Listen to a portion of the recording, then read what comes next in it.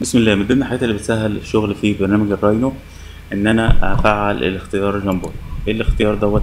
إن أي عنصر هعمل له select يبدأ يظهر لي ال gumball ديت بالشكل دوت. ده يسهل لي إن أنا أعمل move بطريقة سهلة جدا.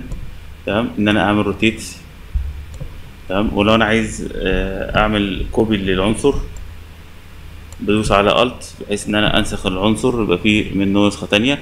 لو أنا عايز أعمل scale شايف ال- المربعات الصغيرة ديت تقدر تعمل scale زي ما أنت عايز. آه. آه. تقدر تنقله في ال X وال Y بس أو في ال Y وال X بس زي ما أنت عايز. ودي بتسهل الشغل ولما تحب إن أنت تخفيها مجرد بس بتدوس هنا فتبدأ الأمور ترجع لطبيعتها. ولو أنت عايز تستخدم الأوامر ديت هتلاقي edit هتلاقي فيه أوامر كتيرة cut copy delete هتلاقي في transform موضوع ال move وال copy وال rotate وال rotate 3D وال scales والحاجات دي كلها.